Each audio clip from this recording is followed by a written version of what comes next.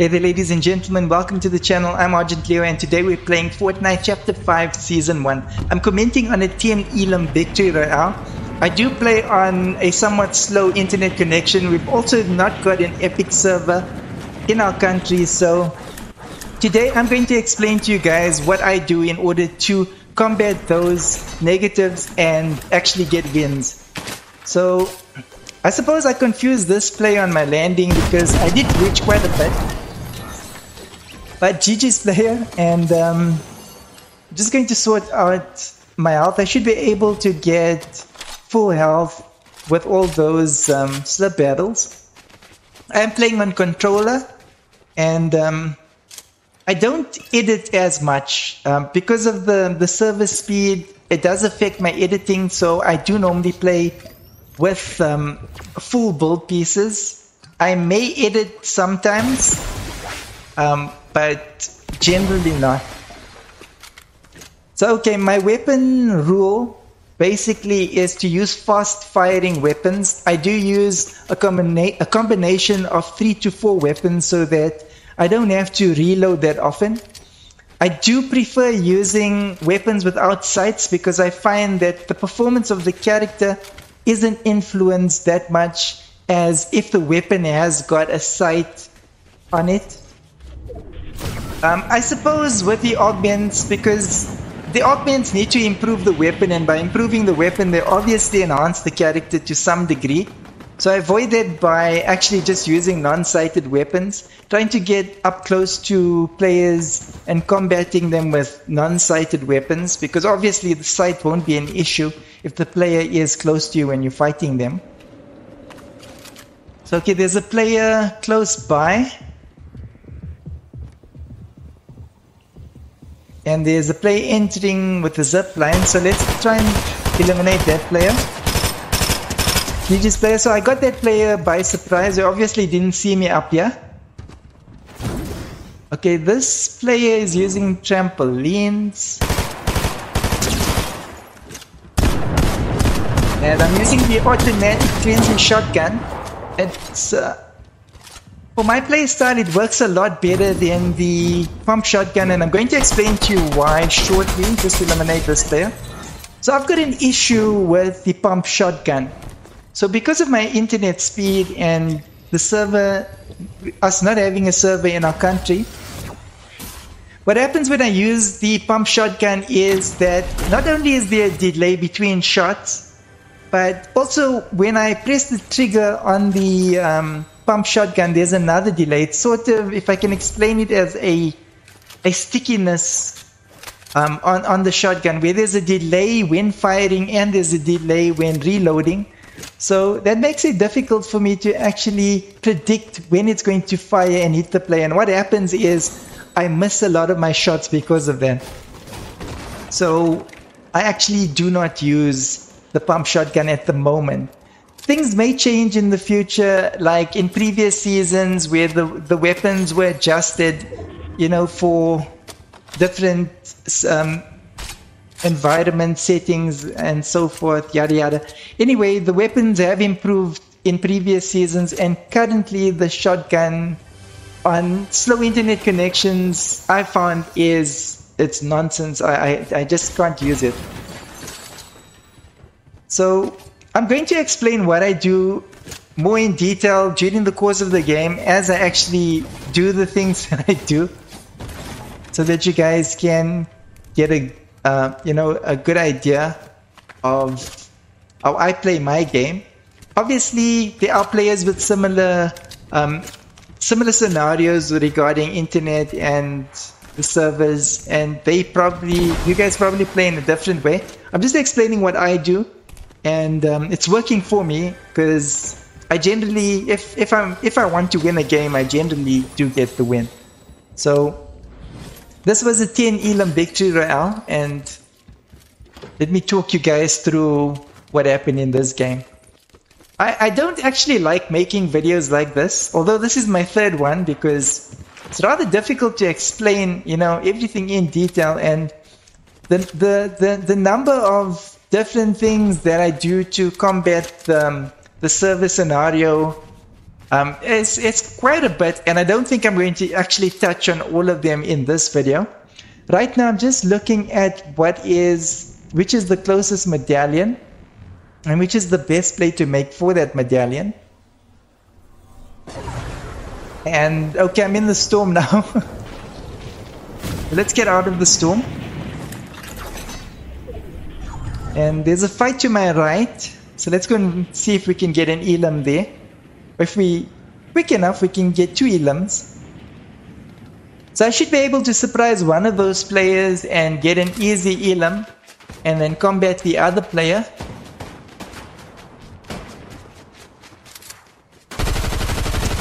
Okay, I got that player unsuspectingly.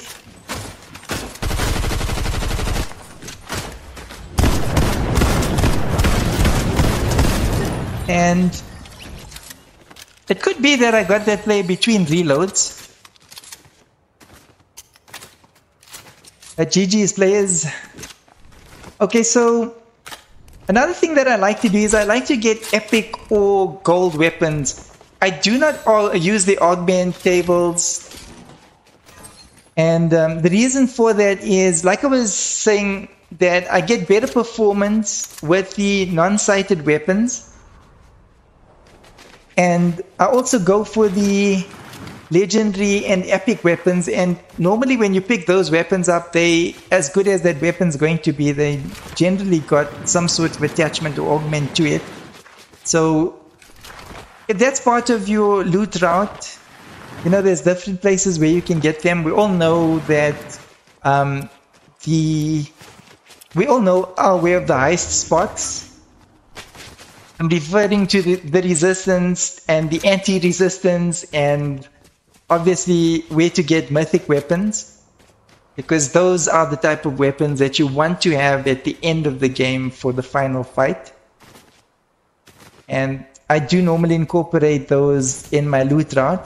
But if you don't, if you feel that you're not good enough to actually, you know, you, you struggle to get the mythic weapons and you struggle with the competition at the at the resistance places, then you could do what I'm doing right now is I'm carrying I'm currently carrying four weapons. So the advantage of carrying four weapons is that you don't have to reload as fast so you can actually rush, uh, rush, rush a player and actually pummel them. If they need to reload during the firefight, then you're going to have an advantage because you're going to be having um, another fresh weapon that you can use to fight. So that would mean that you need weapons that shoot a lot of bullets. So that would then... Okay, I did something silly, yeah? just get out of the storm and then I'll continue with what I was explaining to you guys. Okay, so what I actually mean is like a sniper shoots one bullet and then you gotta reload it. The pump shotgun shoots a shell and then you gotta wait a second or two before you can actually use it again. So with ARs and SMGs, you don't have to. And if you're rushing in, if you rush a player using those weapons, you're going to confuse that player and they're to panic and you don't have to reload. So you can just rush in with those weapons in this current season and finish those players off. Oh, nice. Llama. Okay, just getting my builds right. I don't want to put builds up now because I will probably attract another player. So I'll put the builds up as soon as I open the llama. Okay, now I'll put the balls up to catch whatever is going to go that way.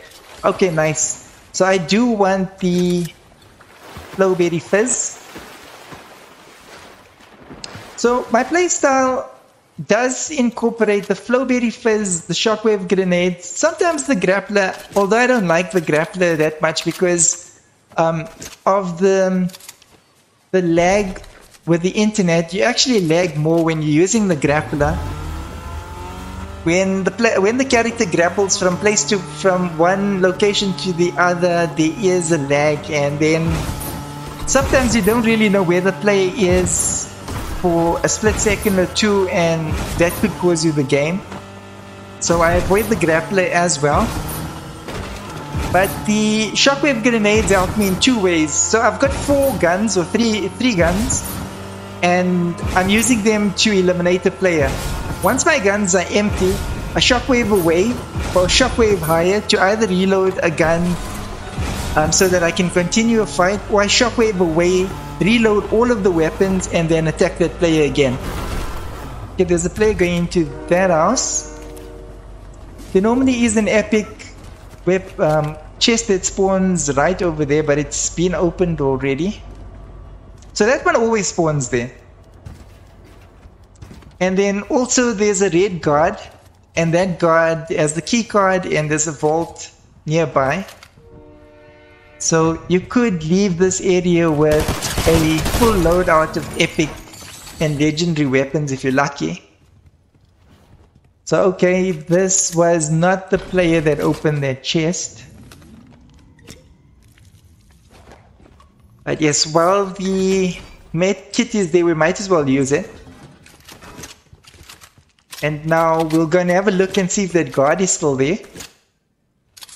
And hopefully get, get some better, better weapons. I'm hoping to get an epic or legendary frenzy shotgun. So like I was saying to you guys, there's this loot um, run that you could do where you know you place all these um, these places where you get these good weapons in your loot route, or you can just run with four weapons and that would help you to reload less and you can play a much more aggressive game and get more elims that way. Okay, nothing there. Okay. That's something I would sometimes take, but I'm not going to take that, that gun today. Um, it's an epic AR, so with those weapons, you can actually um, eliminate the player with three to four shots, so that's a good idea. Um, but the the weapon layout that I've got right now, it as you can see, you know, it, it just helps the movement of the character a little bit more, and I'm fine with that in this game. Maybe in another ga- in in in a, in a different game, I would have taken that AR, but not today. So we'll carry on to that island. Maybe see what's going on in the on in that island.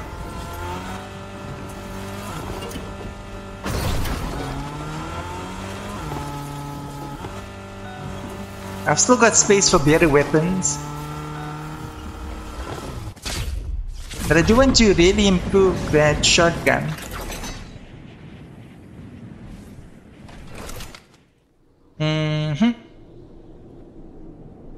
Okay, nothing going on down there.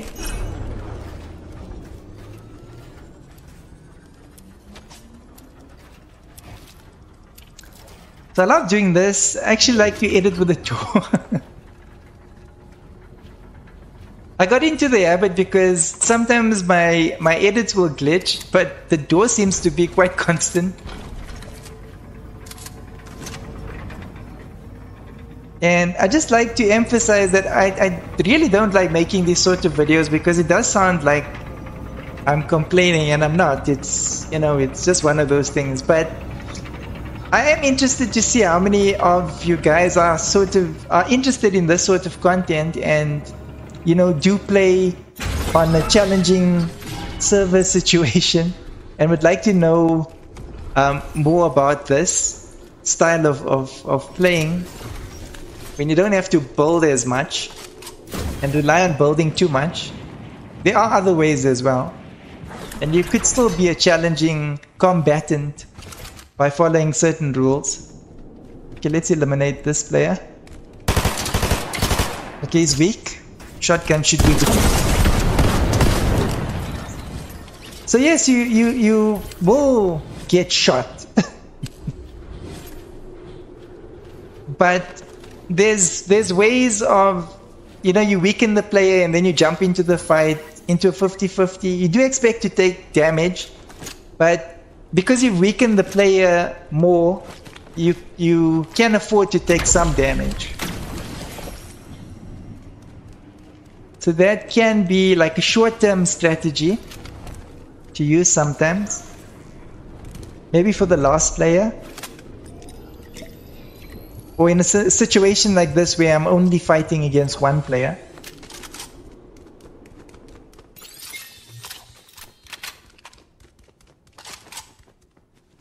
So now we're looking for, well, healing items. I don't want to use the, the Flowberry now. Okay, great stuff. Here's a medkit. I can fix the, the health.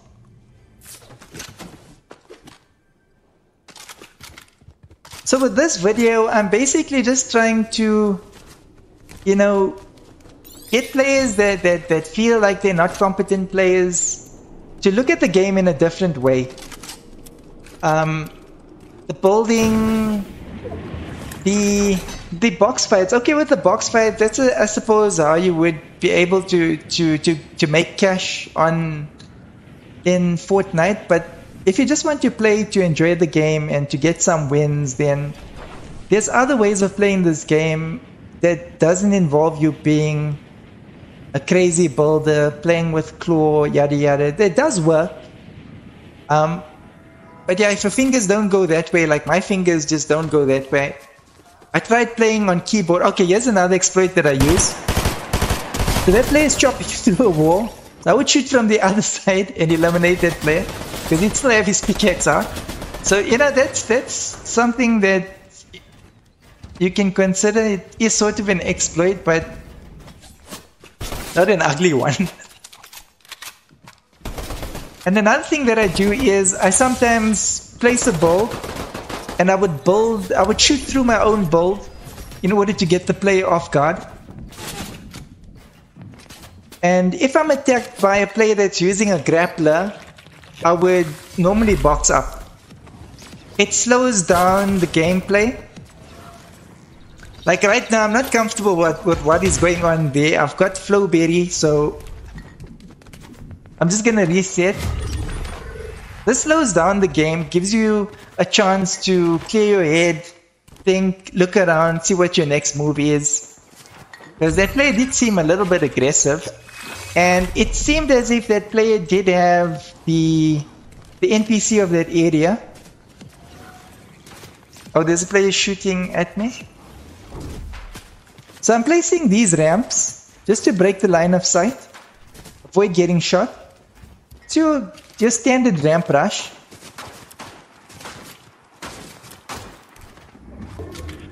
And and I can use that powerful legendary weapon that just takes a few shots in order to eliminate the player. I see the other player up there on the hill. It's coming down.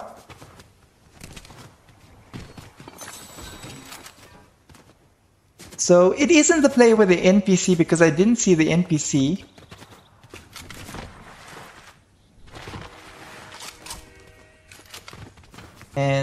Okay, it's behind me. I thought for a second, okay, it's over there. There's another player running behind him.